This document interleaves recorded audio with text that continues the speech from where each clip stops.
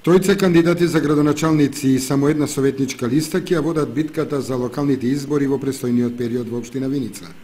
Од Обштинската изборна комисија во Виница велат дека се потврдени кандидатурите на тројца кандидати за градоначалници кои доаѓаат од три различни партии.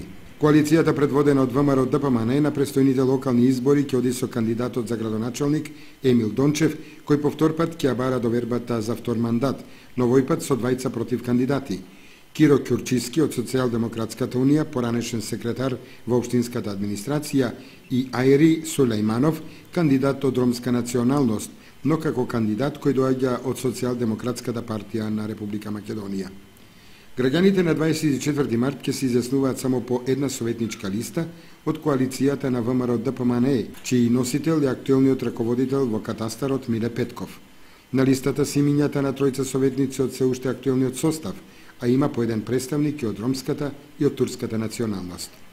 Од СДСМ и коалиционите партнери нема ниту кандидат за градоначалник, ниту советничка листа, со што и во Виница ја подржуваат одлуката на Централата да не се учествува на овие локални избори. Официјалниот законски старт на кампањата за престојните локални избори започнува на 4 март.